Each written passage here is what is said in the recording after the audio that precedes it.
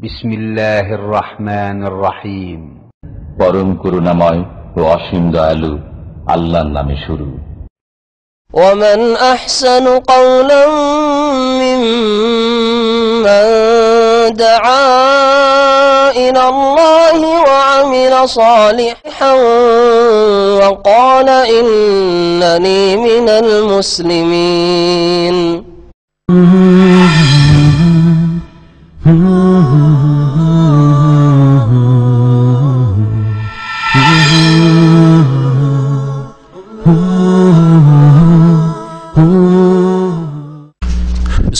রহমান রহিম আলহামদুলিল্লাহ সালাতাম আল্লাহ রসুলিল্লাহ আল্লাহ আলহি ওসাহবি আজমাইন আম্মাবাদ قال المؤلف رحمه الله تعالى وعن انس رضي الله عنه قال كان رسول الله صلى الله عليه وسلم لا يغدو يوم الفطر حتى ياكل تمرات وياكلهن وترا اخرجه البخاري وفي روايه معلقه وصل احمد وياكلهن افرادا আনাস রাজি আল্লাহ তালানো থেকে বর্ণিত তিনি বলছেন যে রসুল্লাহ সাল্লাহ আলী সাল্লাম ঈদ উল ফিতরের দিনে আমাদের দর্শের বিষয়বস্তু, সলাতুল ঈদান সম্পর্কিত হাদিস ঈদ উল ফিতর এবং ঈদ উল আজহা সম্পর্কিত হাদিসগুলি।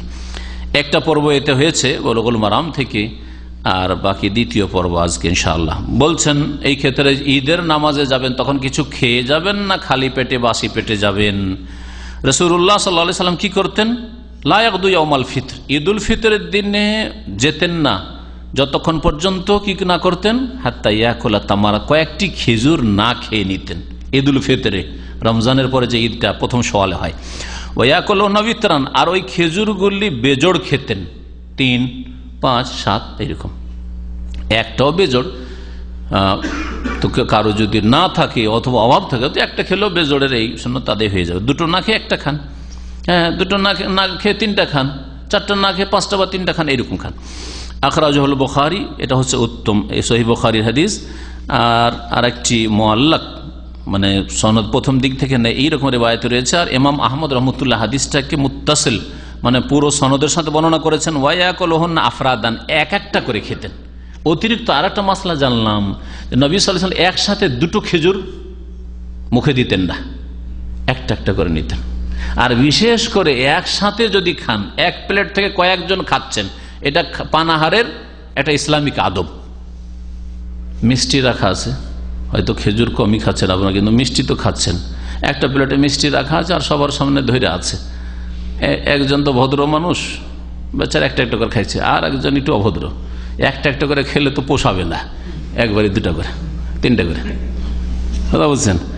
তাহলে সাথী ভাইদের কষ্ট দেবেন আপনি বেআবি করবেন আপনি। এটা খাবারের আদবের খেলাফ কাজ নবী সাল্লাহ ইসলাম একটা একটা করে খেতেন এটা উত্তম এটা শরীর স্বাস্থ্যের জন্য ভালো যে একটা একটা করে মুখে ঢুকাবেন আর যারা সাথী সঙ্গী রয়েছে তাদের কাছে এটা হচ্ছে ভদ্রতা সারাফত যে আপনি একটা একটা করে নেবেন যাতে করে অন্যরাও আপনার সমান সমান চলে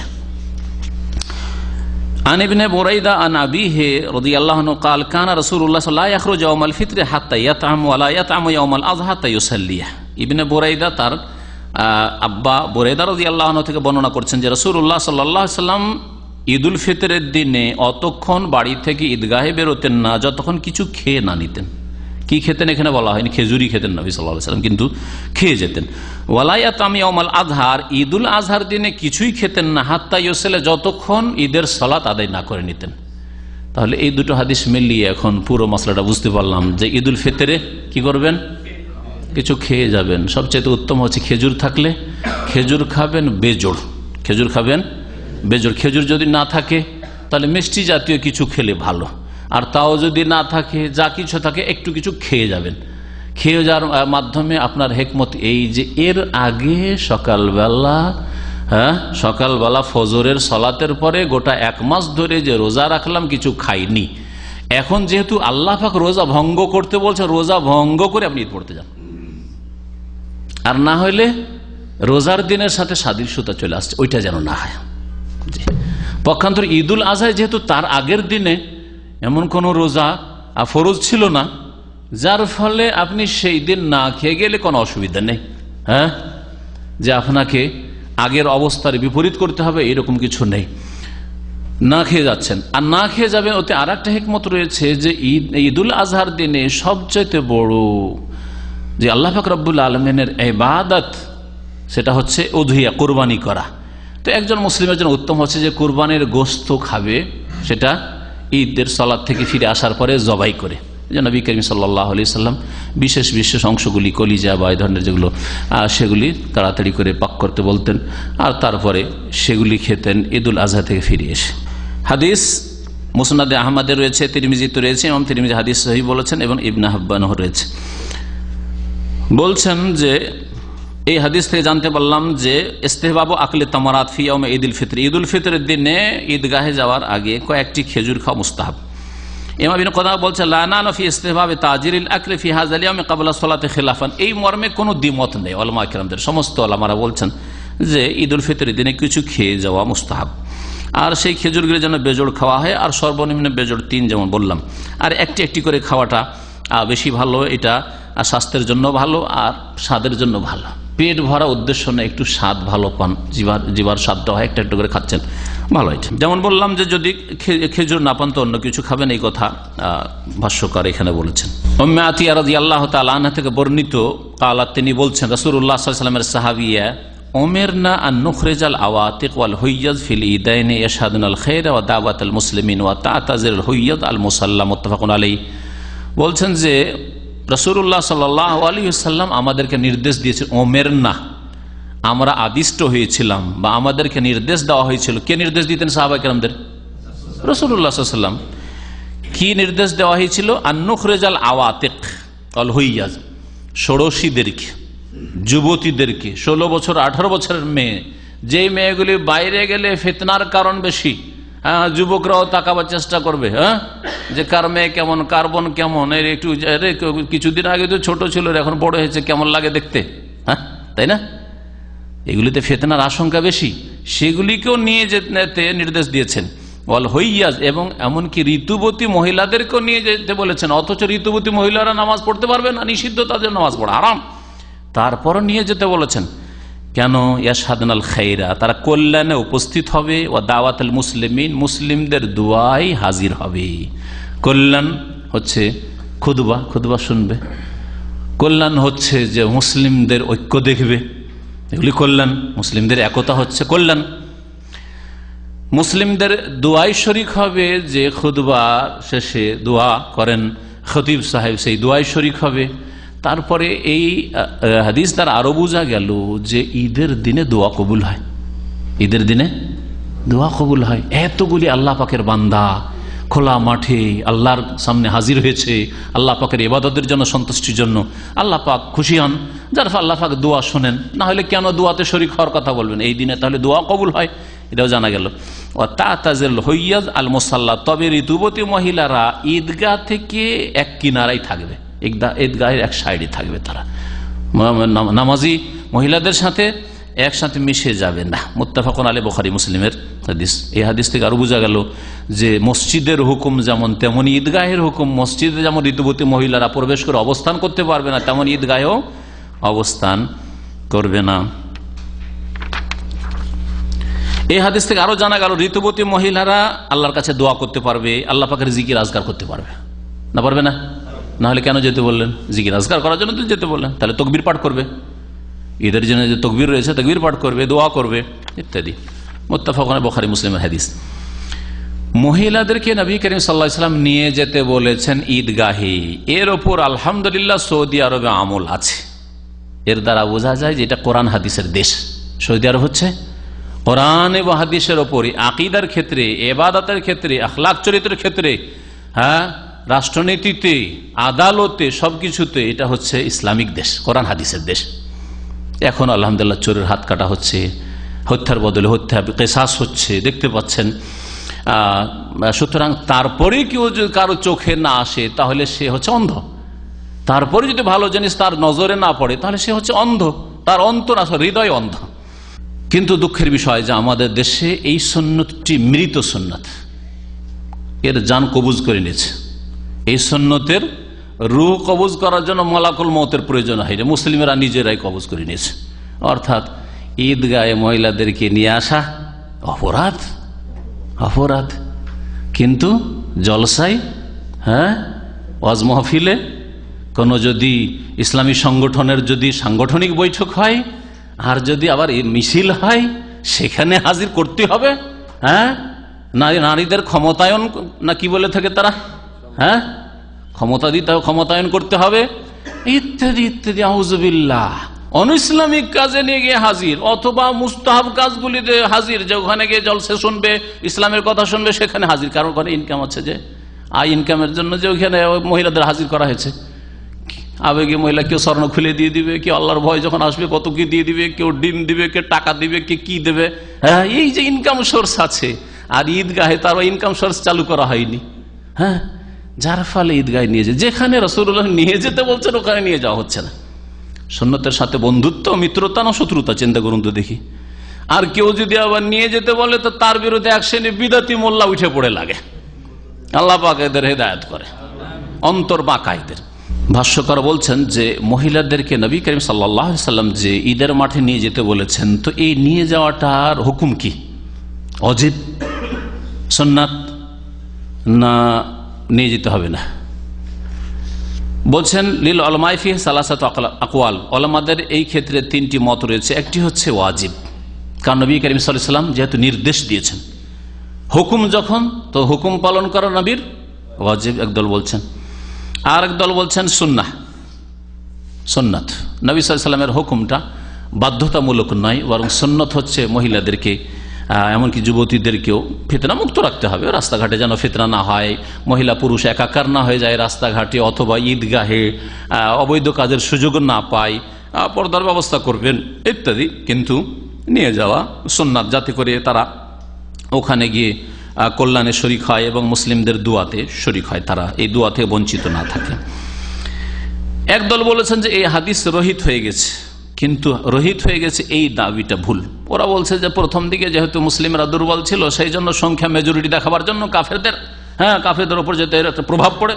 সেজন্য মহিলাদের মহিলাদের সংখ্যা বাড়িয়ে কি কাফেরদের অন্তরে আপনি প্রভাব ফেলবেন আপনি।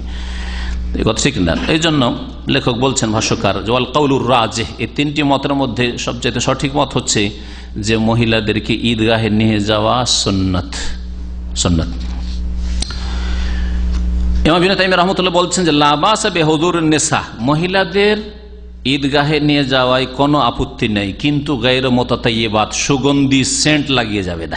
রাস্তা দিয়ে গেলে সেন্ট পাওয়া যাচ্ছে এমনটা না। ওলা লাভের সাথে সিয়াবে জিনা অলঙ্কার সাজসজ্জার পোশাক পরে যাবেন। এমন বোরখা যে বোরকার ওপর একেবারে নকশা করাবো, নকশাতে ফুল। এমন বোরখা যে টাইট, ওতে আরও বেশি আকর্ষণ পয়দা করছে। এগুলো জায়জ নয়। এই বোরকা কোনো জায়গায় পরা যায় না ঈদের ঈদের যাওয়ার জন্য পরা যায় না আর রাস্তাঘাটে বেরোয়ার জন্য জায়জ না আজকাল অধিকাংশ মুসলিম বোনদের বোরখাটা এটা ড্রেসে পরিণত হয়েছে, ফ্যাশনে পরিণত হয়েছে। এটা এবাদাত নয়। এটা এদের এবাদত নয়। অথচ বোরখার উদ্দেশ্য হচ্ছে এবাদাত। আর ভিতরে যত ভালো পোশাক পরবেন পরেন, নিজের বাড়িতে স্বামীর সামনে যত ভালো পোশাক পরবেন পরেন, বাপ মায়ের সামনে ভালো পোশাক পরেন, কোনো অসুবিধা নেই। খুব সাজসজ্জা আর পোশাক পরেন। এইরকমই খ্যাতির পোশাক যেন না হয়, যাতে দেখলে সবাই তাকাইতে থাকে এরকম পোশাক না হয়। নবী সাল্লাম বলছে ওয়ালিয়া খরোজনা মহিলারা সাদা সিদা হয়ে, সাধারণ কাপড়ে, পুরাতন কাপড়ে আর আকর্ষণবিহীন কাপড়ে পোশাকে যেন বেরোয় আর সুগন্ধি না লাগিয়ে। ঈদের সলাতের হুকুম কি আর একটি মাসলা? ঈদের সলাত সন্ন্যাত ফরোজ, ফরজে আইন ফরজ হইলে না ফরজে কেফায়া? আগে অলমারা কি ইখতলাফ করেছেন বলি, তারপরে যেটা সবচেয়ে সহি সেটা বলার চেষ্টা করব। ইত্তাফাক আল আলাম আলা মাসুয়াত সলাতিল ঈদাইন ভাষ্যকার বলছেন যে, ঈদের দুই নামাজ, ঈদুল ফিতর, ঈদুল আজহা এই দুই নামাজের বিধান শরীয়তে রয়েছে। এতে সমস্ত আলামা একমত যে, ইসলামের দুটো ঈদ আর এই দুটো ঈদে ঈদের সলাত, ঈদের নামাজ রয়েছে। অখতলাফও কিন্তু দ্বিমত আছে যে হালহিয়া সন্না ও ফার্জ? ঈদের নামাজ সন্নত না ফরোজ? আর ফরোজ হলে ফার্জে কেফায় না ফার্জে আইন? তাহলে এই ক্ষেত্রে কয়েকটি মত রয়েছে। তিনটি এখানে পেলেন, চারটি মত রয়েছে। এখন দেখেন কে কি বলছে। বলছেন যে, মালেকিরা আর সাফেইরা, এরা বলছে যে, ঈদের সালাত হচ্ছে সন্নাতে মোয়াক্কাদা ঈদের নামাজ হচ্ছে সন্নাতে মোয়াক্কাদা এটাই অধিকাংশ আলামারা বলে আর এটাই সাধারণদের মধ্যে মশুর প্রসিদ্ধ। কারণ নবী করিম সাল্লাম যেহেতু এক বেদুইন যখন জিজ্ঞেস করেছিল যে, আল্লাহ কি ফরজ করেছেন নামাজে বলুন তো, তখন খামসো সালাওয়াত। পাঁচ অক্ত নামাজ বলেছেন। পাঁচ অক্ত ফরজ, তাহলে বাকি বোঝা গেল ঈদের নামাজ, ঈদুল ফিতর, ঈদুল আজহা এগুলি আর ফরজ অজেব নয়, এগুলি হচ্ছে সোননাথ এটা তাদের দলিল। দ্বিতীয় মত হচ্ছে হানাবেলাদের মত, হাম্বেলিদের। তারা বলছেন যে ঈদের সালাত হচ্ছে ফার্জে কেফায়া। ফার্জে কেফায়া মানে সমাজের কিছু লোককে অবশ্যই ঈদ কায়েম করতে হবে। গোটা এলাকার লোক, গোটা গ্রামের লোক যদি ঈদের নামাজে না যায়, তো সবাই গুণাগার সমস্ত বাড়ি লোকেরা, সদস্যরা গুণাগার আর যদি কিছু লোক চলে যায়, তাহলে সবাই গোনা থেকে মুক্ত, পাপ মুক্ত। কার কেউ গুণাগার হইল না। যেমন জানা জানাজার নামাজ। গ্রামে কোনো লোক মারা গেছে, আপনারা পাঁচ ভাই। পাঁচ ভাই যেতে হবে? ফরজ নয়, এক ভাইয়ের যাওয়া জরুরি। হ্যাঁ? গ্রামের দশটা লোক যাওয়া জরুরি বিশটা লোক যাওয়া জরুরি। কিন্তু সবগুলি লোক, কয়েক হাজার লোক বা কয়েকশো লোক যেতে হবে? না। ওটা মুস্তাহাব, কিন্তু একে ফার্জে কেফায়া বলা হয়। ফার্জে কেফায়া মানে কিছু লোক গেলে যথেষ্ট। কেফায়া মানে যথেষ্ট হওয়া। কিছু লোক আদায় করে দিলে যথেষ্ট। এরকমই আজান। আজান ফার্জে কেফায়া? গোটা গ্রামের একজন যদি আজান দিয়ে দেয়, তো গোটা গ্রামের লোক মাফ। মুক্তি পেয়ে গেল। আর যদি আজানই না হয় গ্রাম? আরে মুসলিম গ্রাম আজান হলো না জোহরের। তাহলে সবাই গুণাগার গোটা গ্রামের লোক গুণাগার বলছেন যে ফার্জে কে ফায়া তারা দলিলে পেশ করেছেন ফাসল্লিল রব্বে কনহার আল্লাহ বলছেন, তোমার রবের জন্য সলাত আদায় করো। আল্লাহ যখন হুকুম করেছেন সলাত আদায় করো, তাহলে বোঝা গেল এটা ফরজ। অনহার আর কুরবানি করো। আর নবী করিম সাল্লাম সর্বদাই সালাত আদায় করেছেন। কোনো বছর ছাড়েননি, সুতরাং যখন ছাড়েন নাই সন্ন্যত হলে ছাড়তেন, কখনো ছাড়েননি ঈদুল ফিতর, ঈদুল আজহা সুতরাং এটা হচ্ছে ফার্জে আইন আর এটা হচ্ছে ইসলামের একটা প্রকাশ্য নিদর্শন, যার মধ্যে বোঝা যায় যে হ্যাঁ এটা মুসলিমদের ঈদ হচ্ছে। যদি ঈদ গায়ে লোকেরা না যায়, কেউ না যায়, তাহলে বুঝতেই পারা যাবে না যে এই এলাকায় মুসলিম বাস করে না মুসলিম বাস করে। মুসলিমদের ঈদের দিন না অন্য কোনো দিন, কিছু বোঝা যাবে না। এগুলোকে শাহিরা বলা হয়, যেগুলো প্রকাশ্যে ইবাদত করা হয়। তিন নম্বর মত হচ্ছে হানাফিদের মত। তারা বলছে যে সেটা ওয়াজিব। আর হানাফিদের কাছে ওয়াজিব মানে ফরজের নিচে আর সন্ন্যতের কাছাকাছি সন্ন্যতের কাছাকাছি। অন্যরা যেটাকে সন্ন্যতে মোয়াক্কাদা বলছে, ওর কাছাকাছি হচ্ছে তাদের কাছে ওয়াজিব। সন্ন্যত ওয়াজিব আর ফরজ। একমাত্র হানাফি মজাবে এই ভাগটা রয়েছে ফিক ফিকি টার্মের ভাগ, ফরজ আর তার নিচে ওয়াজেব আর তার নিচে সন্ন্যত আর অন্যদের কাছে ফরজ, ওয়াজেব একই জিনিস। ইমাম শাফি, মালিক আহমদ, তিন আইম মাইকেরাম এবং তাদের অনুসারীদের কাছে। আর তার নিচে হচ্ছে সন্না সেই সন্ন্যতটা মোয়াক্কাদা তার তাকিদ থাকতে পারে। অথবা মোয়াক্কাদা নয়, তাকিদ নয় কিন্তু নবী সালামের আদর্শ সন্ন্যাত সেটাও হইতে পারে, সেটা দুই ভাগে ভাগ হইতে পারে। তো হানাফিরা বলেছেন যে জুম কি বলছেন? যার জন্য জুমা ওয়াজেব, তার জন্য ঈদে যাওয়া অজেব তাহলে ফার্জে কেফায়া নয়, তাহলে সকলকে যেতে হবে আর তাদের কাছে ওয়াজেব। ওয়াজেব মানে গুণাগার হবে। কিন্তু ফরজ নামাজ ছাড়ার মতো গুণাগার হবে না। তারা বলছেন, তবে খুদবা শোনা অজেব না সেওয়াল খুদবা তাই দুই খুদবা শোনা এটা হচ্ছে তাদের কাছে সুন্নাত। চার নম্বর মত, ইমাম আহমদ রহমতুল্লাহ আলাই থেকে বর্ণিত আরেকটি রওয়ায়ত, আন্না ফার্জে আইন। ঈদের সলাত হচ্ছে ফার্জে প্রত্যেক সাবালক মুসলিমের ওপর ফরজ। কারণ কোরআনের আয়াত ফসল্লিল রব্বে কনহার আর দ্বিতীয় নবী করিম সাল্লাম নির্দেশ দিয়েছেন, এমনকি মহিলাদেরকে নির্দেশ দিয়েছেন আর এটাই হচ্ছে পছন্দনীয় মত ইমাম ইবিন তাইমিয়া রহমতুল্লাহ আলাই তিনি বলছেন যে আল্লাহ পাক দৈনিক পাঁচ অক্ত সালাত ফরজ করেছেন, সাপ্তাহিক জুমার সালাত ফরজ করেছেন, আর বাৎসরিক ঈদ উল ফিতর ঈদ উল আজহার সালাত ফরজ করেছেন। ফরিদাতুসানা বাৎসরিক ফরজ। আল্লাহ আলম। ভাষ্যকার শেখ বাসাম হাফিজাহুল্লাহ তালা মক্কার বিচারপতি, কাজী, তিনি বলছেন হাজ আল কৌল হুয়ার রাজি। এটাই হচ্ছে সবচেয়ে বেশি বলিষ্ঠ, অর্থাৎ বছরের ফরজ, ঈদুল ফিতর, ঈদুল আজহার নামাজ। আল্লাহ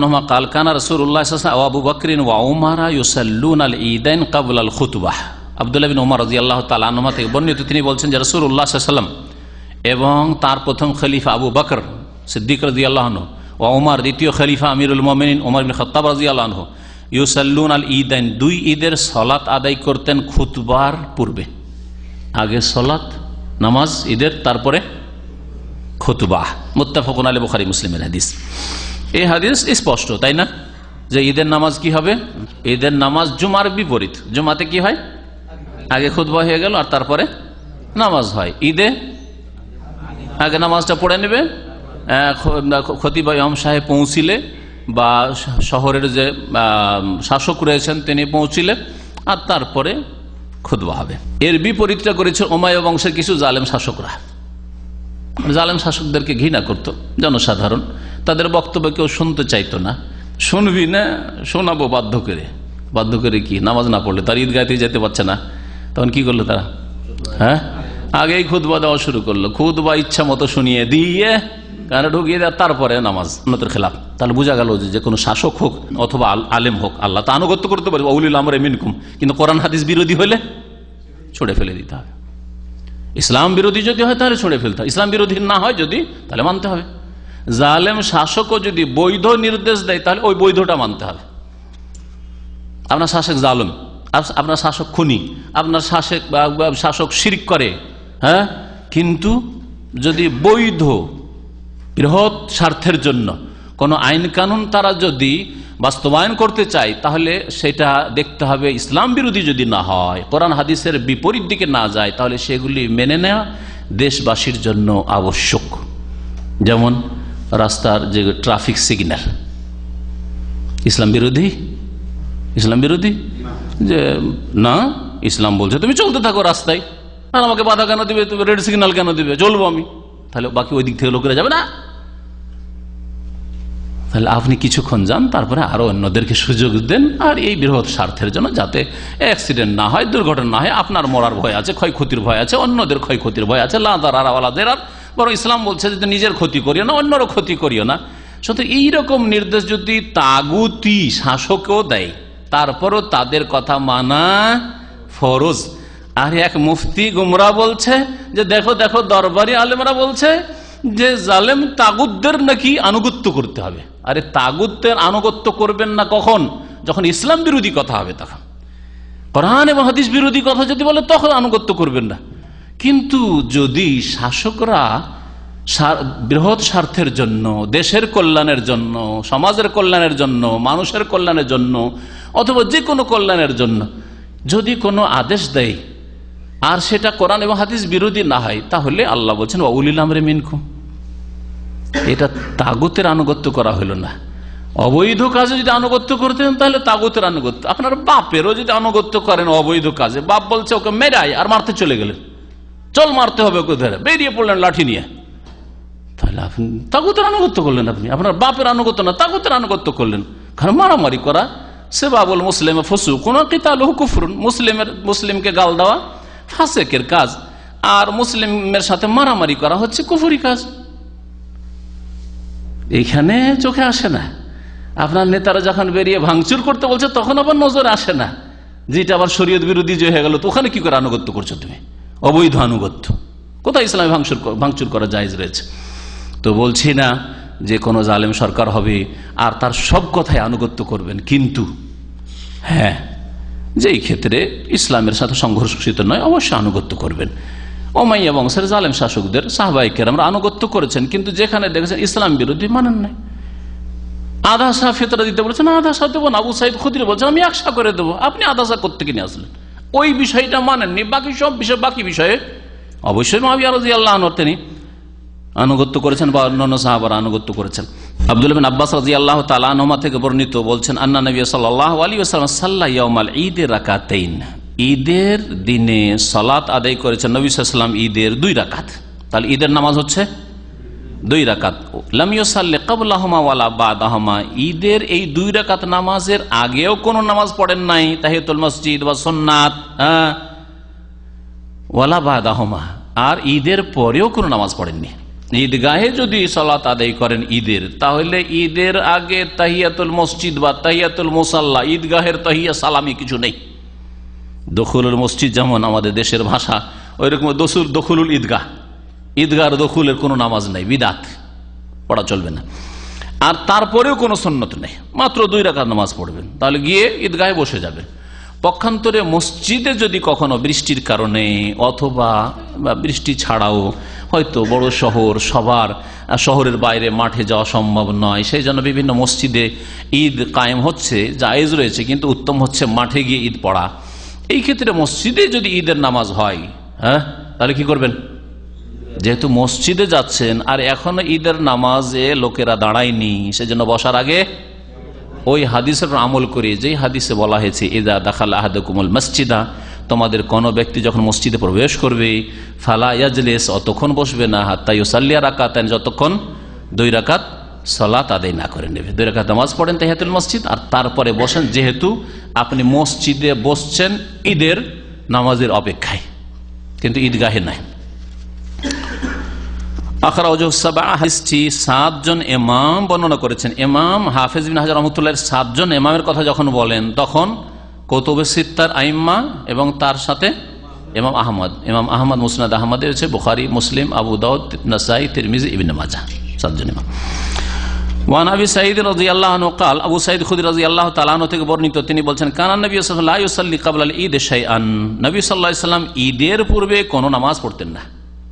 ঈদের আগে কোনো সালাত আদায় করতেন না। ফায়দা রাজা এলা মনজিলেহি, অতপার বাড়িতে ফিরে আসলে সাল্লা রাকাত তাই দুই রাকাত সলাত আদায় করতেন। ঈদগাহে নয় তাহলে অতিরিক্ত আর একটা মাসলা জানলাম, ঈদের দিনে নবী করিম সাল্লাহ আলি সাল্লাম কি করতেন? ঈদগাহে থেকে ফিরে এসে বাড়িতে দুই রাকাত সলাত আদায় করতেন। সকালবেলা যেহেতু হইতো, হতে পারে এটা সলাত হাতার অথবা এমনি নফল পড়তেন। নবী সাল্লাম ঈদের দিনে ঈদগাহ থেকে ফিরে এসে পড়েছেন। সুতরাং আপনিও পড়ে নিতে পারেন। রহিবিন মাজা হাদিস টিবিন মাজাতে রয়েছে, বেসনাদিন হাসান। হাদিসের সনদ হচ্ছে হাসান। ভাষ্যকার বলছেন যে, মুসলিমদের ঐক্যমত রয়েছে যে, সলাতুল ঈদান ঈদের নামাজ হচ্ছে দুই রাকাত। ঈদের নামাজ হচ্ছে দুই রাকাত। ও আন্নাল্লাহ সলাওয়াতে আর ও যেমন অন্যান্য নামাজের নামাজের শর্ত রয়েছে, পূর্ব শর্ত। ফরজ নামাজের ঈদের শর্ত রয়েছে। শর্তের মধ্যে একটি হচ্ছে উজু কিবলামুখী হওয়া, ঠিক না? সময় শুরু হওয়া দখলুল ওয়াক্ত ইত্যাদি ইত্যাদি। রুকুন রয়েছে, যেমন ফরজ নামাজের সন্ন্যত নামাজের চোদ্দটি রুকুন রয়েছে, তেমনি রুকুন রয়েছে ঈদের নামাজের। অজেবাত আর কিছু অজেব রয়েছে। নামাজের কতটি অজেব? আটটি অজেব। ফরজ নামাজেরও আটটি অজেব সন্ন্যত নামাজেরও আটটি অজেব এইরকম ঈদের নামাজেরও আটটি অজেব। এইরকমই সুন্নত। সুন্নতগুলি নামাজের মধ্যে অনেকগুলি সুন্নত রয়েছে, ফরজ নামাজে, সুন্নত নামাজে হ্যাঁ? ওই রকমই এই সন্ন্যতগুলি পালন করবেন কিসে? ঈদের নামাজ ঈদের নামাজ রাফুল এদাইন করবেন। ঈদের নামাজও আমিন জোরে বলবেন, তেলাওয়াত যেহেতু জোরে হচ্ছে, আমিন বিল জাহার করবেন। ঈদের নামাজও ওইভাবে হাত বাঁধবেন বুকের ওপর যেভাবে হাত বাঁধছেন আপনি অন্যান্য অন্য নামাজে ইত্যাদি ইত্যাদি। সলাতুল ঈদাইন আর ফরজ নামাজের পার্থক্য হচ্ছে যে ঈদের নামাজে আজান নেই, একামত নেই। আজানও নেই, একামত নেই। জুমার নামাজে আজান, একামত আছে, তাহলে জুমার সাথে পার্থক্য হইল। আর একটি পার্থক্য হচ্ছে যে ঈদের নামাজে ঈদ উল ফিতর ঈদ উল আজহাই অতিরিক্ত তকবির রয়েছে। তকবিরাতে জায়দা মানে অতিরিক্ত তকবির। যেই তকবিরগুলি ফরজ নামাজও নেই, সন্নত নেই তাহাজুদে নেই। কতটি তকবির রয়েছে ইনশা আল্লাহ তালা হাদিস আসবে, তখন বর্ণনা করো প্রথম রাখাতে কতটা তকবির আর দ্বিতীয় রাখাতে কত তকবির। আর হাদিস দ্বারা জানতে পারলাম যে ঈদের নামাজের আগে ঈদগাহে নফল পড়া জায়জ নয়, আর ঈদের পরেও নফল নফল পড়া সেখানে জায়জ নয়। আবদুল্লাহ আব্বাস রাজি আল্লাহ তালা থেকে বর্ণিত, তিনি বলছেন যে, আন্না নবী সাল্লাম সাল্লাল ঈদ বেলা আজানিন ওয়ালা একামা নবী সাল্লাহ সাল্লাম ঈদের সলাত আদায় করেছেন বিনা আজানে বিনা একামতে বিনা আজানে বিনা একামতে হাদিস আবু দাউদে রয়েছে। ও আসলহুফিল বুখারি। আর এর মূল বিষয়টি সহি বুখারিতে রয়েছে। সহি বুখারিতে আবদুল্লাহ আব্বাস থেকে বর্ণিত এইভাবে রয়েছে যে, আন্না নবী সাল্লাল ঈদেন। নবী সাল্লাম ঈদের দুই নামাজ পড়লেন মানে ঈদুল ফিতর, ঈদুল আজহা সুম্মা খাতাবা, আর তারপরে খুদবা দেওয়া শুরু করে, বেলা আজানিন ওয়ালা একাম আজানও ছিল না একামতও ছিল না। সহি মুসলিমে রয়েছে জাবের বিন সামোরা রাজি আল্লাহ তালানো থেকে, কাল সাল্লাই তো মান নবী আল ঈদা গাইরা মার্রাতান গাইরা মার্রাতিন ওয়ালা মার্রাতেন। আমি নবী করিম সাথে ঈদের নামাজ পড়েছি বহুবার। একবার নয় দুবার নয় আমরা বলি না। একবার নয়, দুইবার নয়। তার মানে কি? বহুবার, অনেকবার। বেগাইরে আজানিন বিনা আজানে বিনা একামতে সুতরাং ঈদের দিনে আজান দেওয়া একামত দেওয়া, এটা বেদাত মকরু। কেন মকরু? আপত্তিকর। কেন বিদাত? লিয়ান্নাহুল্লাম কারণ এটা প্রমাণিত নয়, নবী সাল্লামের তরিকা নয়। আর যেটা শরীয়তে আসেনি, সেটা করা হচ্ছে বাড়তি। এমাম নবী বলছেন লাউসাউল আজান ওয়াল ইকাম আলী গাইরুল মাকতুবাতিল খামস। পাঁচ অক্ত সলাদ ছাড়া আর তার মধ্যে জুমাও। কিন্তু জুমাটা যেহেতু জোহরের বিকল্প জুমা পড়েছেন সেজন্য জোহর পড়ে না জুমা না পড়তে পারলে জোহর পড়তে হবে অসুস্থ ব্যক্তিকে বা মুসাফির ব্যক্তিকে। বলছেন যে পাঁচ অক্ত নামাজ ছাড়া অন্য কোন নামাজের জন্য বা অন্য কোন কারণে আজান একামত নেই। আমাদের দেশে এইরকম আজান আছে, বিদাতি আজান। আছে না নেই? ঝড় তুফানে আজান শুনেছেন? যখন ঝড় চলে একটু দোয়া করার তৌফিক হয় না ছোটকালে মামাদের গ্রামে থেকে আর কি ঘূর্ণি ঝড়, কালবৈশাখী ঝড়, আর আজান দে আজান দে আজান দে, চলছে আজান, এই বাড়ি থেকে আজান আসছে, ওই বাড়ি থেকে আজান, ওই বাড়ি থেকে আজান আসছে। আর একটা আজান দেখেছি কলেরার আজান। এখন তো কলেরা রোগ হয় না। কলেরাতে গ্রামে ধারাধার মারা যাচ্ছে, এই বাড়িতে মরলো, ওই বাড়িতে মরলো, ওই বাড়িতে মরলো। চার, পাঁচটা গ্রামে যখন মারা গেছে, ডায়রিয়া, কলেরা, আর আজান কি শুরু হয়েছে? রাতে গ্রামে গ্রামে আজান দিয়ে বেড়াচ্ছে। রাস্তায় রাস্তায় আজান দিয়ে বেড়াচ্ছে। ছোট কালে মনে পড়ছে, দেখেছি এই বিদাতগুলি। এরকম আজান ইসলামে নেই। এইসব আজান আজান বলছে শয়তান তাড়ানোর জন্য। কারণ কলেরা শয়তানের মাধ্যমে আসে। তার আগে গুটি বসন্ত ছিল হ্যাঁ? প্লেগ এগুলি ছিল।